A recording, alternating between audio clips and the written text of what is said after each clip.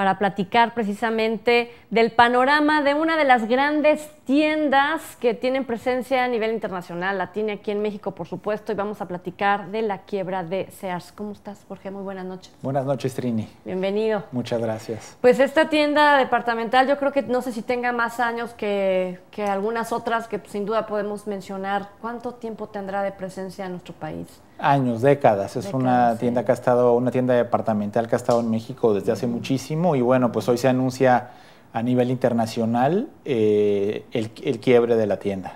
Y en México, ¿cómo nos, nos, pinta eso? Porque hemos visto también la venta de algunas firmas que se unen a otras, continúan con su imagen, pero sabemos que pertenecen, que se fusionan. ¿Sears no será el caso?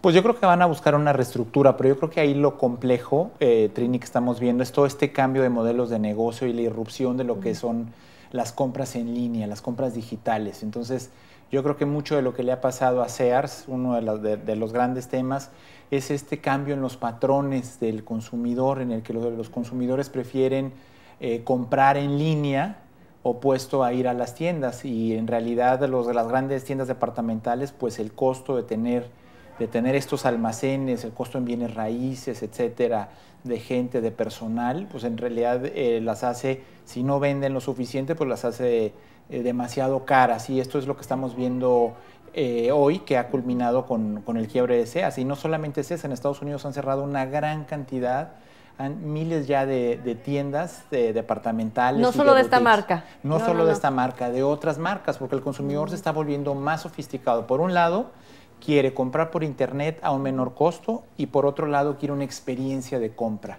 O sea, quiere ir a, la, quiere ir a un lugar no solamente a comprar, sino a, a, que exista algo más, exista una experiencia en la cual puede participar. Y es el tema que hemos hablado mucho aquí, es el tema de la innovación. Y las tiendas departamentales no han entendido eso, siguen vendiendo exactamente igual que hace años, como mencionas. Bueno, el caso de Sears justamente uh -huh. es ese, o sea, con un modelito de negocio, este de los descuentos y una serie de cosas, y pues lo que hemos visto es que ya no funciona más, ¿no? ¿Y qué va, qué va a pasar con esas grandes tiendas, con esos grandes almacenes? Pues yo creo que un poco lo, lo, eh, lo, lo que es... Eh, eh, un darwinismo de alguna manera, ¿no? Las que se sepan adaptar al entorno. Uh -huh a los cambios, a la digitalización, a toda esta economía digital, yo creo que son las que van a salir adelante. Y lo que hemos visto mucho es que siguen creciendo los centros comerciales, las plazas, etcétera, pero también están buscando otra manera de de, generar una experiencia para el consumidor. No necesariamente desde el punto de vista a lo mejor de ir a comprar ahí a la tienda departamental, sino también hacer parte de alguna vida social en, la, en el centro comercial. Y yo creo que las tiendas que están más vulnerables son esas que se han quedado fuera de centros comerciales o que están en centros comerciales, digamos, de, de primera generación, las típicas plazas de hace, de hace décadas. Yo creo que ahora estamos yendo más a plazas que son, eh, digamos, a cielo abierto, este, con una serie de, de, de instalaciones. Como el mall famoso en los Estados Unidos, ¿no? Eh, sí, algo, algo más novedoso, como un poquito más con, con al aire libre, o sea, que tienen una serie de características que no solamente vas a comprar, sino que también vas a, vas a, a lo mejor a comer, a dedicar parte de tu vida, incluso uh -huh. gente que hace, va a pasear, ¿no? Como sí, desde que llegas al cine hasta que terminas Así en la es. cena y de pasada, a lo mejor de pasada puede que compres algo. Así es. No vas ya a comprar eh, algo para ti justo a la plaza. Sabes que es complicadísimo ir por un par de tenis que necesitas o, o ir por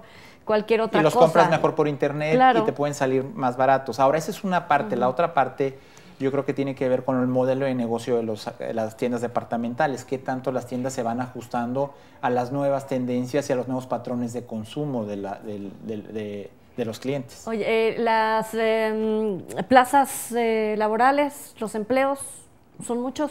Bueno, vamos a ver todavía eh, cuál es mm. la posición, si finalmente se, de, se van en, en, quiebra o se van a la reestructuración, a un concurso mercantil y buscan encontrar un, una nueva manera de salir adelante, mm. reestructurando lo que deben. Pero sí, sin duda va a haber un impacto en, la, en, en las plazas, en los puestos de trabajo de miles de personas. De, de manera negativa. De manera negativa.